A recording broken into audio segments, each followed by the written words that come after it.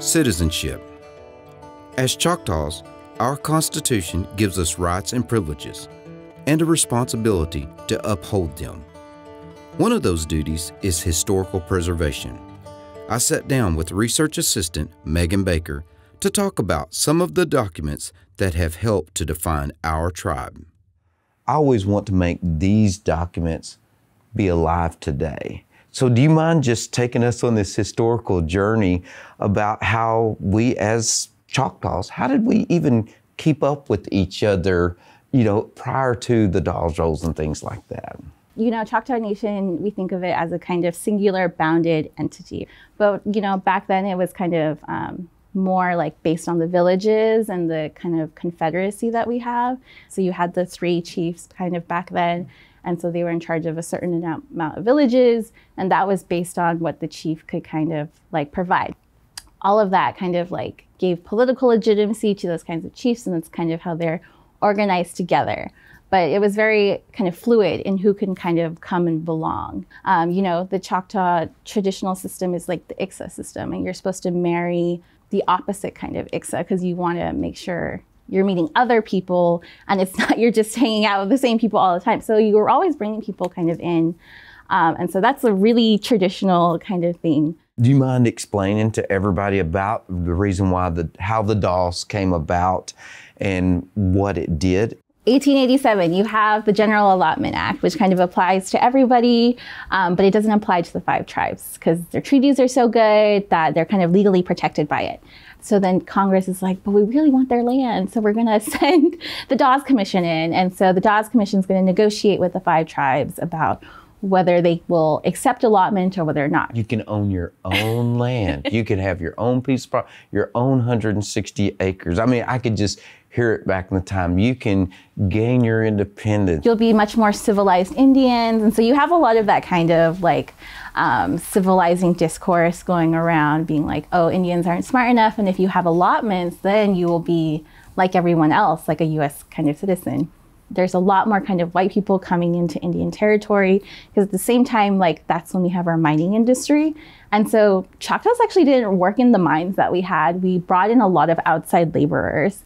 And so um, that was kind of adding to the tension, the kinds of jurisdictional issues that we have. Like we couldn't prosecute white people on our in our territories. So you have all these kinds of different forces on the Choctaw government, and you know people aren't getting along, and kind of everyone's disagreeing, and so those Choctaw leaders were like, it's kind of like we're reading the room. They're kind of seeing what's going on, and they're like, I think it's going to have to be allotment because that's the only way that we can determine the terms of allotment. And this is the way that we want to do it. And they kind of negotiate it, and it gets kind of ratified by all of the Choctaws. They all vote on it. Um, and so then in 1898, Congress passes the um, Curtis Act, which we have a copy of. And so that 1897 Atoka Agreement is basically kind of enshrined in this kind of law. And so they're like, this is the way it's kind of, this is how allotment's going to play out. The Dawes Roll due to allotment, they wanted to start keeping a, a census of who should get this land. So, what was the good and bad about the Dawes Roll, do you think? So before you can give out allotments, you have to make the Dawes rolls. And these are what we know as the Dawes rolls. They're based off censuses. And originally, the Dawes Commission kind of came in and they're like, oh, Choctaw Nation, oh, they made it, so they're not good enough. But they kept meticulous kind of detail. And the Dawes rolls also enrolled a lot of people who weren't on that kind of censuses because they were done every 10 years. And so people had died or people had changed their names and kind of, it really kind of updated that in a way. Uh, my assumption is there was people, like you said, that were non-tribal members that was probably trying to say, hey, I'm Choctaw, I want some of that land too. Oh, it, it definitely happened. There was definitely a lot of people lying to get on the Dawes rolls. And so Choctaw Nation really fought against adding those kinds of people because they weren't kind of entitled, because they weren't part of the community. We're always fighting for our sovereignty and for our dignity and for yeah. who we were as Choctaw people. Yeah you know, we've always talked about we're better as a whole mm-hmm. when we have our land, not my individual land and your individual land. That's on, we could give per capita, and then what do we have left as a tribe? That's the reason why I've always opposed per capita because we always have to remain as Choctaw people who we are. Without it, how do we keep our culture? How do we keep our history? How do we keep our language alive if we don't keep all of those resources together? We then truly become assimilated. Yeah, the this culture of like individual kinds of only you and your family that that was brought into Choctaw culture through allotment, right? It's to really kind of make people believe that you should live an individual kind of life and care less about a kind of collective, which was what Choctaw people did for so long.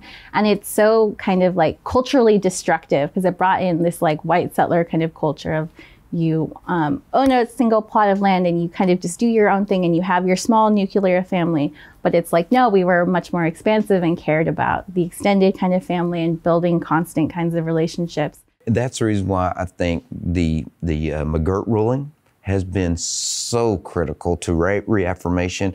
My goal is for us to educate, to learn more constantly, because it's hard, again, like I said, going back to 1896 at the time, you know, if they ask you, do you want to be on the Dawes Roll? I still say people thought they were probably doing the right thing when they said, hey, we want allotment. Yeah. But then in the reality, how many people has? I know last time I looked, it's less than 5% of our Choctaw people have their allotment allotted land. Again, all of our history, what we're trying to do is to educate people and for them to understand and have all of the knowledge so that they can make proper good decisions to sustain our tribe for the future. As the current generation of the Choctaw tribe, we have an important responsibility to understand where our citizenship comes from. In order to tell our story, we must preserve these historical documents and letters for our ancestors and our future generations. Until next time, Chapisala Chiki.